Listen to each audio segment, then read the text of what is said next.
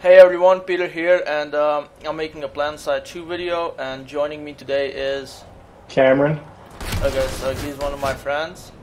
And uh, pretty much, this is a quick and easy way to get XP and um, certification points. So, we're both engineers, so what you do is you you need two people for this, but the more the merrier. Well, actually, it doesn't even matter. Uh, you place your reloading thing, and now you place yours. Like, place it right here. Resupply, by the way. Okay, so and see, I'm already getting XP, and uh, switch over to your gun since it's faster to reload, and just shoot and reload. Okay, and as you can see, we're getting a squad resupply bonus, and I'm getting all that. Some Check your score my, per hour. I can't. My tab isn't working for some reason. Tell me yours. It's alright. Uh, but as you can see, uh, my certification points above the minimap, it's almost already 827.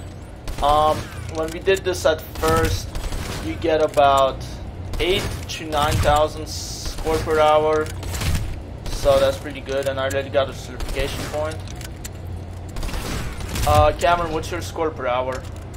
My score per hour is 3,600. So yeah, And you going just up. keep doing it and doing it, and just do it outside the warp gate. Well, inside the warp gate, but outside the building, it's the best place. And you you can't even kill people, so that's nice. Um. Okay, the thing disappeared. So just place another one, and you have an infinite supply of these. Okay. So yeah, you just keep doing this, and um, eventually, I believe. How long did it take us for it to stop last time? I don't know, probably about four or five minutes. Okay, so we'll say whenever, uh, just keep reloading for now.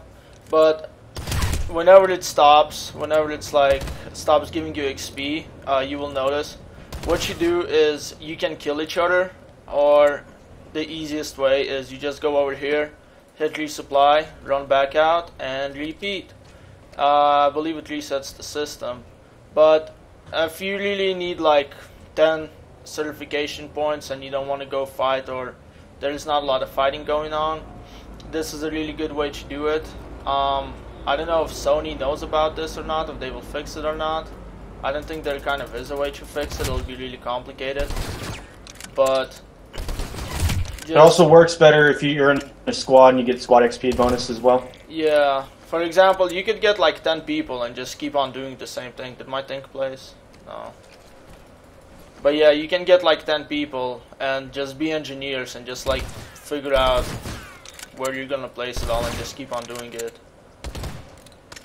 But yeah, um, so yeah, like I said, if you just need a couple certification points or a little bit extra XP, this is a pretty good and fast way to do it. And uh, thanks for watching. I'm Peter, and Cameron. yep, and uh, I'll see you guys next time.